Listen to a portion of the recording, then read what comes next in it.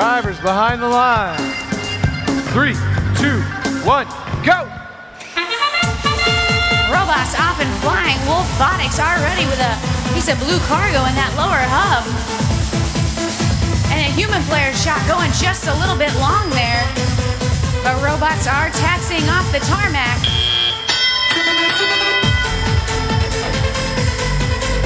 As we enter the teleoperated period, Blue does lead six to four.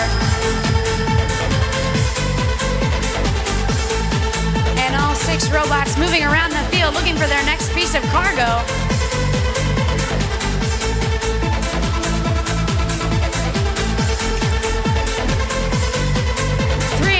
With a piece of cargo in their intake. Can't quite get it up and over that bumper. But there's plenty of time to. That heavy defense they're facing is seems to be slowing them down just a little bit. Looks like all five robots here trying to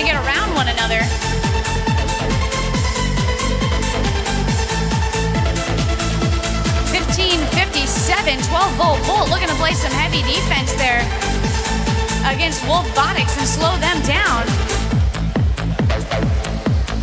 And Gravy playing a little bit of defense of their own here against Voltage. If they can stop them from intaking any cargo and scoring it, they may be able to pull ahead here.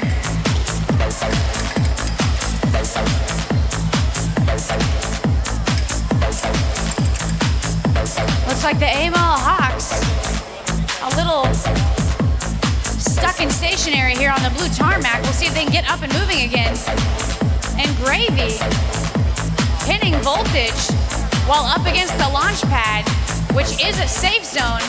Voltage with cargo up and in that upper hub. 34 to 8. Red Alliance taking that win, less than 30 seconds left. We'll see what teams opt to continue scoring and which teams head for those rungs. Looks like Ogre. Ogre with their arms going up. Voltage looking to get themselves on the mid rung. Five seconds left. Voltage is up.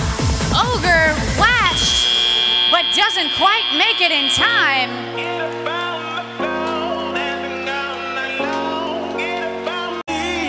And here are the scores. The Red Alliance taking the win with a new high score here at South Florida, 40 to 8. You will see quite a bit of penalty points.